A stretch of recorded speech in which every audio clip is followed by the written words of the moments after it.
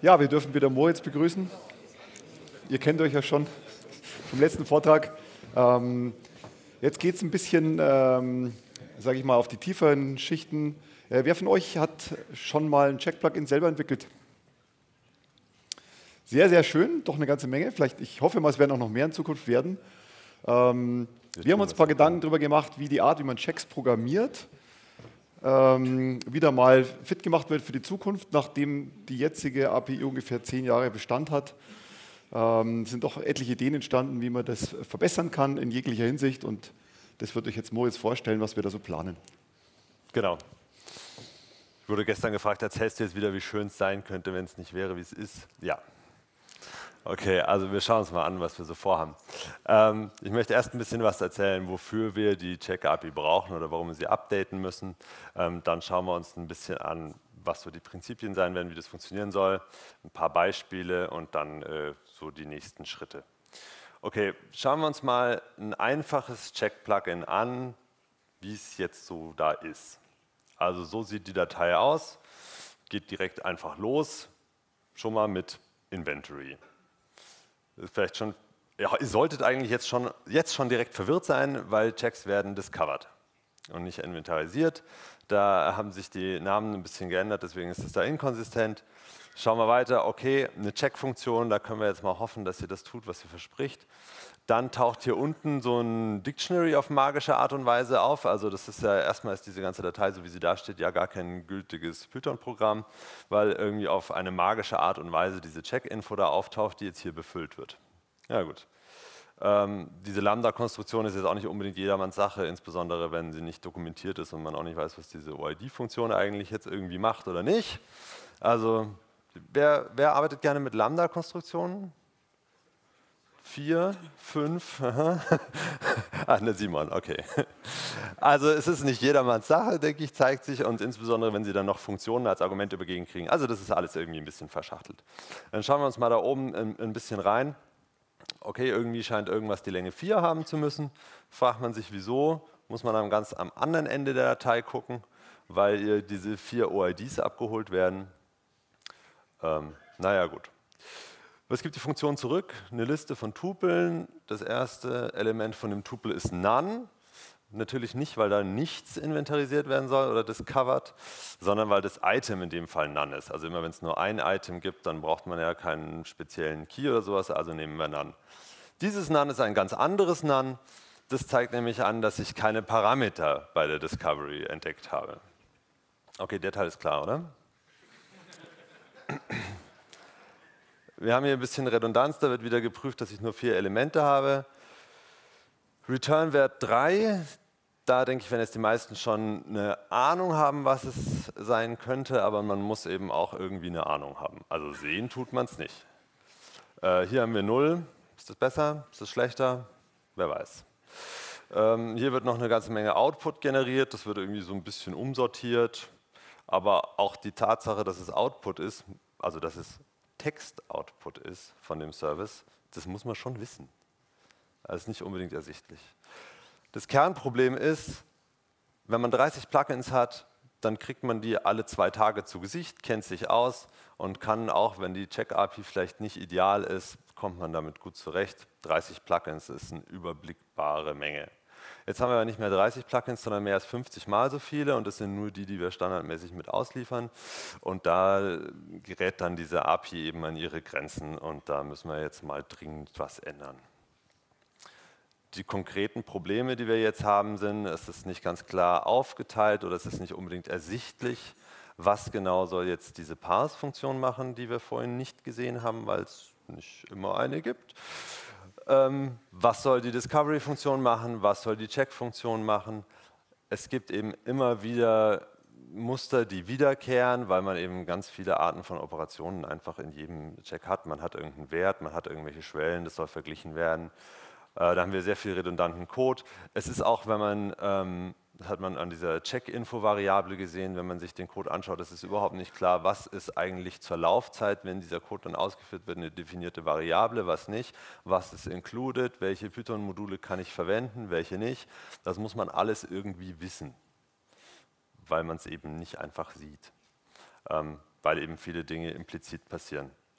Und in Kombination natürlich, dass die Dokumentation mangelhaft ist, das habe ich jetzt auch die letzten beiden Tage schon mehrfach gehört von verschiedenen Leuten, das wissen wir auch und das wird sich auch ändern. Äh, da leiden wir selber auch drunter. Ähm, das Ergebnis von dieser Situation ist eben, es ist überhaupt nicht einfach, überhaupt mal so einen so Check zu lesen. Und eigentlich ja gerade eine der Stärken von Python kann ja sein, dass man, wenn man den Code eben entsprechend schreiben kann, dass man eine Datei öffnet, man liest sie durch und man weiß, was passiert, weil Python eben eigentlich relativ klar sein kann, wenn man darauf achtet, dass man das so schreibt.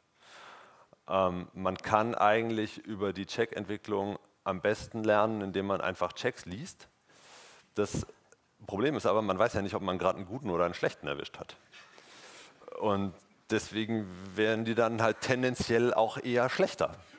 Und das ist irgendwie äh, natürlich nicht wünschenswert. Und außerdem macht man halt dadurch viele Fehler und es dauert auch sehr lange und das ist halt für alle Beteiligten frustrierend. Also das kann ich auch, äh, auch als Entwickler, ich bin jetzt seit einem Jahr dabei, das heißt, ich habe diese Lernkurve jetzt auch durchmachen müssen, also ich kann das alles bestätigen. Okay, äh, wie kommen wir da raus? Das große Ziel ist, dass die Check-Plugins in Zukunft eigenständige Python-Module sein sollen. Das heißt, da orientiert man sich an den Best Practices. Das hat eine ganze Menge Vorteile. Ähm, und das Gleiche soll gelten für die API. Das soll eben auch ein ordentliches Python-Modul sein, und zwar so, dass man es versioniert importieren kann.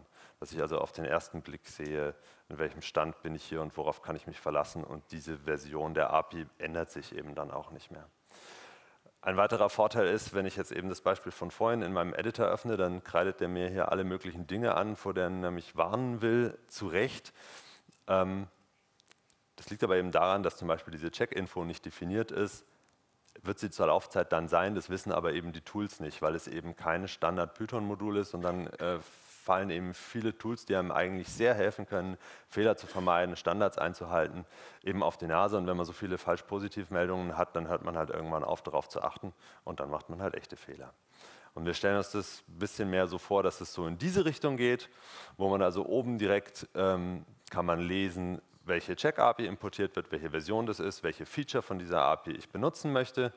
Dann sehe ich, es wird eine Sektion definiert, also die Trennung zwischen Sektion und Checkteil soll auch sauberer werden. Ähm, man kann generell sprechendere Namen anwenden und es wird alles in allem ein bisschen kürzer, sieht man ja. Und bei dem Beispiel wird es länger. Äh, das liegt daran, dass eben der Check an sich halt ähm, sowieso schon sehr, sehr kurz ist und deswegen ist äh, der, der Overhead halt da ein bisschen da. Aber für komplexe Checks wird das alles sehr viel aufgeräumter und ordentlicher aussehen. Dann hätte es aber nicht auf eine Seite gepasst. So könnt ihr es lesen. Auf dem Weg dahin müssen wir auf einige Dinge achten. Äh, wir müssen selbstverständlich der alte API noch eine ganze Weile supporten, auch wenn es weh tut. Aber dafür natürlich kein Weg dran vorbei. Wir wollen die Transition ordentlich dokumentieren der jetzige Zustand mit der Dokumentation ist eben unbefriedigend, aber es macht natürlich auch keinen Sinn, jetzt was zu dokumentieren, wo wir äh, fleißig daran arbeiten, das möglichst schnell abzulösen. Also die Reihenfolge wird sein, neue Check-API, die dann ordentlich dokumentiert ist, nicht jetzt noch eine Doku für die alte. Das macht keinen Sinn. Dann müssen wir natürlich die Migration selbst durchführen. Das wird erstens wahnsinnig viel Arbeit, weil wie schon erwähnt, das sind halt 1700 Check-Plugins. Das wird sicher eine Weile dauern und wir müssen in der Zeit uns gut überlegen, wie wir mit der Situation umgehen, dass man eben alte und neue hat, vielleicht von dem gleichen Check. Viele von euch haben ja auch lokale Versionen, die aus irgendwelchen Gründen angepasst sind. Auch da müssen wir natürlich darauf achten, dass die sich nicht ins Gehege kommen und dass wir da eine saubere Transition hinkriegen. Gut, dann möchte ich jetzt mal so ein paar konkrete Beispiele ähm, nennen.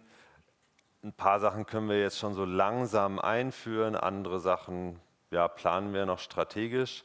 Jetzt schauen wir uns mal an, also zum Beispiel diese Funktion to unpack parse data, ähm, die gibt es jetzt seit der P12, ist die schon ganz heimlich da reingewandert, weil wir sie für die ganzen ähm, Cloud Agents und so stark verwendet haben und dann war es einfacher, die rückzuportieren, als das überall entsprechend anzupassen. Was man hier ganz oft sieht, ist, wir haben irgendwelche geparsten Daten, die sind ganz oft wie ein Dictionary aufgeteilt. Also ich habe irgendeinen Service, der hat meinetwegen zehn verschiedene Items discovered und ich habe zu jedem von diesen Items irgendwie einen Datensatz und die sind in dieser Parse-Funktion drin. Und das allererste, was ich immer mache, ich nehme das Item, ich schaue in das Dictionary, ich schaue, ob die Daten da sind, ich ziehe sie raus und ich behandle den Fall ordentlich, dass diese Daten halt nicht drin, hoffentlich ordentlich, dass diese Daten halt nicht drin sind. Ähm, und ähm, das kann man jetzt eben mit diesem Decorator einfach in einer Zeile machen. Wenn wir diesen Mechanismus mal ändern sollten, dann müssen wir das nur an einer Stelle machen und es ist kürzer und leserlicher und man kann sich aufs Wesentliche konzentrieren. Dann wollen wir für viele Werte gerne ordentliche Objekte haben. Jetzt benutzen wir oft einfach nur Integer, also das heißt, wir haben so eine Situation, wir haben irgendeinen ähm, Raw-Value, der kommt halt vom Agent-Output und dann machen wir dann Integer draus, was hoffentlich gut geht. Ähm, und wenn ich den dann später zum Beispiel printen möchte, dann muss ich halt wissen, was ist denn das überhaupt für ein Wert, wie muss ich den rendern, damit der User das irgendwie ordentlich lesen kann. Das heißt, hoffentlich weiß ich dann eben noch, sind es Byte, sind's, also gerade bei Byte und Prozent ist immer die Frage, also ich meine, ob es Byte oder Sekunden sind, das sollte ich aus dem Kontext noch irgendwie wissen, aber ob es ein absoluter Wert ist oder ein Prozentwert, äh, kann man natürlich rausfinden, aber ist halt mühsam. Und schöner wäre ja, wenn man ein, äh, ein Objekt hat, das einfach eine Methode hat, das ordentlich weiß, wie es sich rendern muss und ich muss mich nicht drum kümmern, sondern kann einfach diese Objekte durch die Gegend reichen und wenn sie halt irgendwo gerendert werden müssen, dann werden sie eben ordentlich gerendert. Da will ich mich nicht drum kümmern mehr müssen. Ähm, das ist so ein nice to have. Wichtiger wäre schon, wenn ich zum Beispiel Einheiten in verschiedenen Units habe. Das sind auch so Arten von Fehlern, die schon durchaus mal vorgekommen sein sollen, dass ich eben zwei Werte habe in verschiedenen Einheiten, aber Python sieht ja nur Integer und wenn ich die jetzt addiere, dann wird Python die fröhlich addieren und es kommt natürlich irgendein Quatsch raus. Was ich eigentlich möchte ist, wenn ich ähm, da, ja, wenn ich da die entsprechenden Typen habe, dass Python das eben erkennt, die Addition durchführt, aber eben darauf achtet, dass da ordentlich konvertiert wird und irgendeine sinnvolle Einheit rauskommt. Und auch wichtig, wenn es eben, wenn eine Konvertierung überhaupt nicht sinnvoll ist. Also ich habe zum Beispiel hier Bytes und eine gewisse Zeitspanne. Das sind ja auch beides Integer. Ich will die addieren. Python denkt sich, super, addiere ich, weitermachen. Ist natürlich kompletter Quatsch und was ich da eigentlich gerne hätte, ist halt ein Value Error, dass ich eben diese Art von Fehler einfach nicht machen kann. Und da hoffen wir, dass wir irgendwie so eine sinnvolle Menge an ähm, Objekten, die man halt oft braucht, also das sind ja im Wesentlichen so die SI-Einheiten, dass man damit halt irgendwie arbeiten kann. Ähm, ja, die Check Plugin Returns, das war ja vorhin auch mit dem, ist es, äh, ist es ein Text, ist es eine Metrik, ist es ein State? Man weiß es nicht. Es gibt nur eine einzige Möglichkeit, das rauszufinden, nämlich das, was an der ersten Stelle steht. Hier die 0 ist immer der State. Was an der zweiten Stelle steht, hier bla, ist immer der Text. Und was an der dritten Stelle steht, sind immer die Metriken. Wenn ich eine Metrik zurückgeben will, muss ich einen State vorher zurückgeben und einen Text vorher zurückgeben, weil das, was an der dritten Stelle steht, die Metrik ist. Aber auch das eben, muss man wissen, kann man nicht lesen. Und nun schwebt eben eher sowas hier vor, dass man ein schönes Check-Result zurückgibt. Jeder sieht sofort, was wird da zurückgegeben. Es ist ein Check-Result, das zurückgegeben wird. Was ist der State? State ist okay, Output ist bla, die Metrik ist das. Man kann es einfach lesen, niemand äh, muss es erklärt kriegen, man schaut rein und man weiß es sofort. Gut, dann die nächsten Schritte. Ähm, ja, wie schon erwähnt, die API und die Plugins sollen Module werden. Dafür müssen wir alle Plugins, die da sind, refactoren und umschreiben und selbstverständlich, wenn wir die neu schreiben, jetzt schreiben wir sie in Python 3. Gut. Es gibt schon Fragen.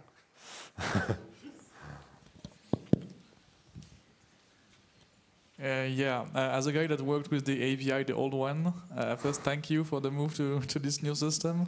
But also, uh, yeah, I, felt comfortable learning this, so now I have to work with the, the, proper the proper way. But uh, okay, um, I have a question also about the um, check parameters. Uh, have you got some more documentation on that? Because you know, right now what I do is I look at the check parameters, the, the file, right, with all the checks, these big dictionaries, you know, Python, these big objects, right to configure the rule sets and, and all. And I think that's also a part of the checks in a way, right?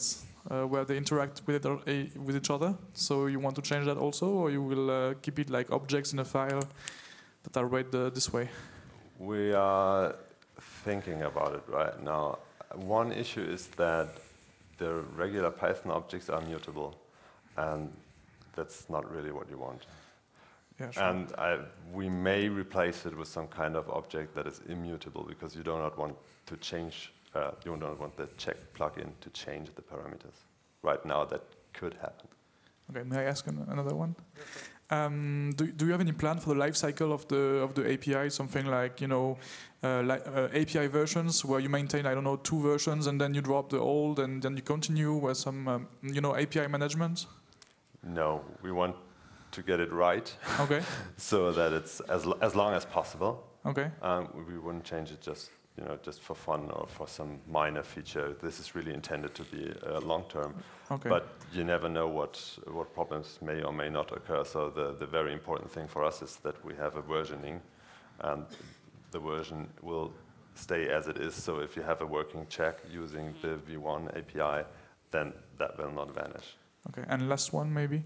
Uh, sorry. Uh, last one is just about um, the tool to support this API. Can we have some Sphinx or you know easy uh, documentation tool where you know you have all the types and the returns and all that documented somewhere? Uh, yes, we, uh, we will provi- provide that. We just don't know what exactly we'll do right now. It, it depends a little bit on how the API will be written, um, maybe some Sphinx documentation or another approach. We don't Okay. know yet. Thanks a lot. But we are aware of the API is basically useless if it's not uh, well documented.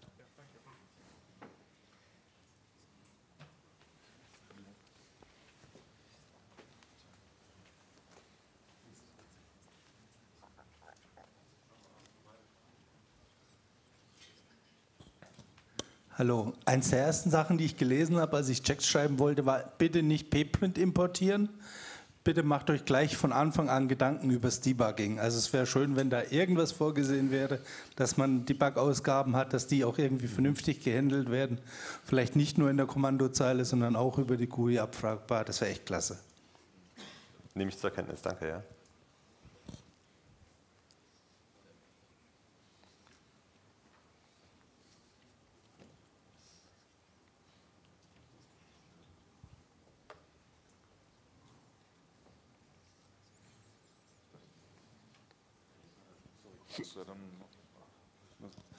Ähm, ihr bietet ja Schulungen an, wie man für CheckMK Erweiterungen schreibt. Ähm, wenn das jetzt alles umgekrempelt wird und ich bin jetzt zum Beispiel in drei Monaten oder sowas auf einer Schulung, dann wird ja da wahrscheinlich noch das Alte gelehrt. Das wird ja nicht so viel Sinn machen. Ich meine, also ich weiß nicht, wie weit ihr da jetzt in der Entwicklung seid, aber ich würde nur wissen, wie da der Plan ist. Ich, also selbstverständlich soll es dann auch Schulungen geben. Ich glaube nicht, dass jetzt eine Schulung zu besuchen sinnlos wäre, weil es gibt ja auch viele äh, Best Practices, die jetzt, sag ich mal, es ist ja zu einem gewissen Grad auch äh, die äußere Form, ja? Äh, wie man das jetzt äh, zum Beispiel eben, wie man es genau aufteilt. Wenn du deinen Code gut geschrieben hast und am Ende kommt raus, naja, du musst es jetzt ein bisschen anders aufteilen, dann ist das relativ wenig Arbeit. Und ich denke, du hast auf jeden Fall was davon, wenn, also du kannst es jetzt schon üben, es ist eben in manchen Punkten halt einfach ein Schmerz. Ja? Ähm, aber vielleicht freust du dich dann umso mehr. Nein, also ich denke nicht, das ist dann, wird dann sicher ein kleiner Umstieg sein, aber ich denke, du stehst auf jeden Fall besser da, als wenn du es gar nicht gemacht hättest. Man, man muss auch sagen, die alte API wird sicherlich noch so ein paar Jahrzehnte supported werden. weil, weil bis wir alle wahrscheinlich weit über 2000 existierenden Check-Plugins migriert sind, wäre es eigentlich ziemlich schade, wenn man die alte vorschnell abschaltet. Also so, es ist nicht so ganz die große Eile, glaube ich, dass man jetzt ganz hektisch alles umstellen muss. Meine Frage ist auch zur Entwicklung von neuen Checks. Ähm, mein erster Ansatz war, ich mache mir irgendwo ein Git-Repository, hau da ein bisschen mein Python rein und am Ende kriege ich äh, über einen Aufruf eine MKP-Datei zurück. Aber äh, die Realität ist bislang, glaube ich, ein bisschen anders. Äh, die Frage ist, habt ihr in die Richtung weitergedacht, dass also ins CMK-Tool ein äh, Skeleton äh, erzeugt wird, also dass er mir ein Verzeichnis füllt mit äh, sinnvollen Daten? Und ähm, dass ich halt dann am Ende äh, dieses Verzeichnis umwandeln kann in eine MKP-Datei. Ähm, ich glaube, konkrete Pläne, diesen MKP-Mechanismus zu ändern, gibt es jetzt derzeit nicht. Oder?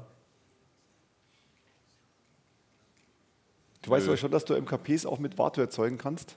Das ist aber nicht mein Ansatz gewesen, sondern ich wollte halt eigentlich von Anfang an in einem Repository arbeiten.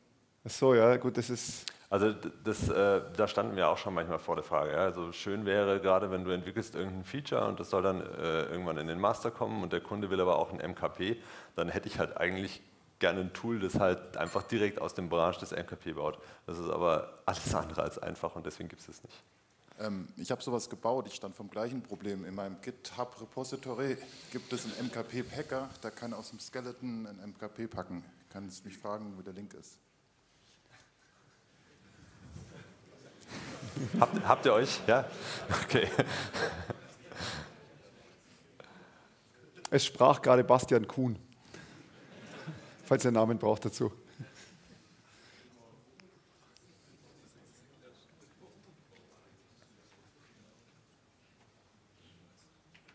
Pause. Gut, dann gibt es jetzt die letzte Pause und danach geht es dann zur Roadmap. Yeah.